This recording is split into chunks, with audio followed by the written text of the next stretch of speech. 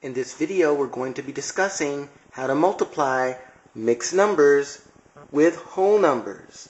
The first thing we're going to do is change this mixed number into an improper fraction by multiplying the denominator by the whole number to get 6, adding 1 to get 7, and keeping our denominator of 2. Next, we can't multiply a fraction with a whole number. We need to make a whole number into a fraction, and we do that by putting a denominator of 1 under the whole number. Now, before we multiply across, we check to see if we can cross-cancel. Cross-canceling isn't cross-multiplying. Think of it as a way of simplifying. If we do this now, we don't have to reduce later.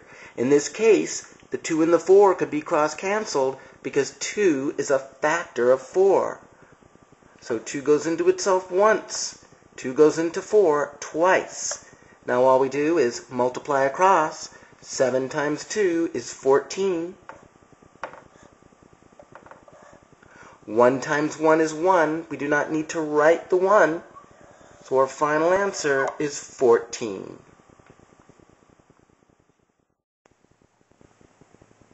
Don't forget that if you do not cross cancel in a problem, Make sure you check at the end to see if your answer needs to be simplified.